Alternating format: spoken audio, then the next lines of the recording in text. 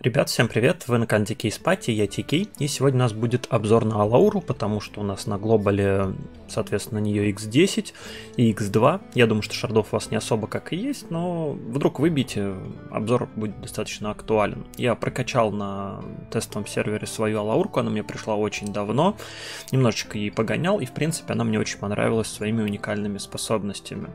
Давайте начнем. Первое, не смотрите, как я собрал свою Алаурку, это тесты, я здесь практически не играю, здесь мало шмота, здесь ни сет не собран, ну, в общем, слабоватенько.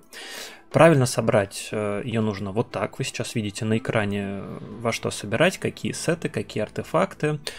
Вот так ее собираете, соответственно, максите и атаку, крит урон, крит шанс, все по стандарту э, наших дэмэдж дилеров. Почему же я буду настаивать на том, что Алауру прокачивать нужно, и это не является ошибкой? Ну, начнем. Первое. Самое главное применение Алауры, которое можно придумать сейчас в Watcher of Realms, это сбоку на 19 и выше этажах. То есть ее не видно, она дамажит по э, соответственно, мобам, помогая вашей, возможно, еще не до конца заряженной турельке убить мобов справа, да, которые вылетают, и, соответственно, она их может убивать. То есть у нее есть не вид невидимость, э, которая не дает врагам э, таргетиться на нее и атаковать.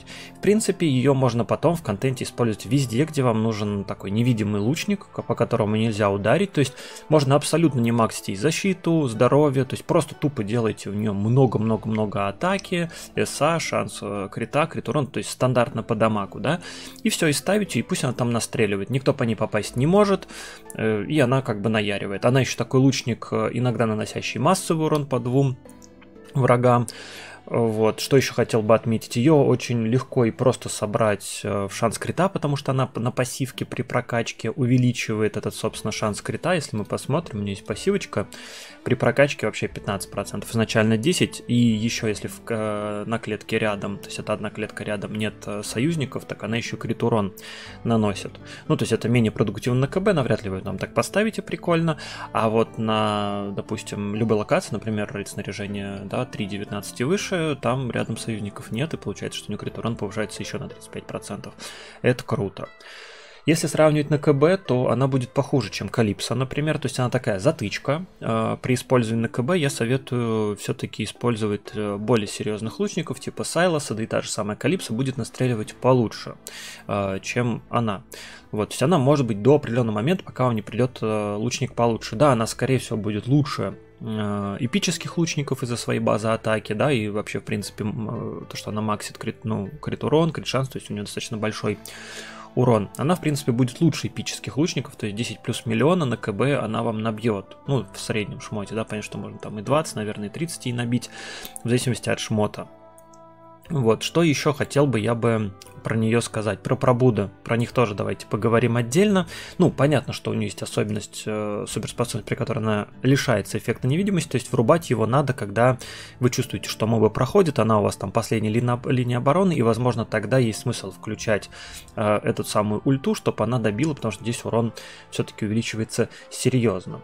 Э, хочу заметить, что у нее очень прикольные пробуды, первое, она преобразует крит э, шанс лишний в крит урон.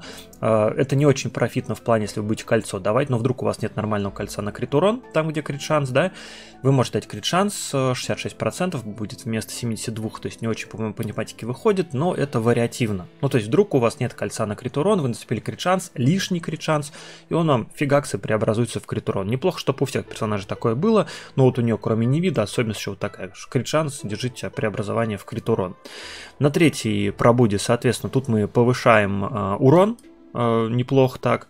И на пятой пробуде мы, собственно, настакиваем себе э, урон на ульте, то есть это прикольно, она находится, когда в невиде, э, наносит крит, уран, крит урон, настакивает себе суперспособность, много раз ударили, по-моему, там надо штук 30 ударов нанести, и в итоге вы на 30% а, повысите свой э, урон во время ульты. То есть э, это вообще круто. Ну, то есть это пробуждение как бы ее максимизирует ее уникальность. Да, не вид плюс, э, соответственно, огромный урон на ульте.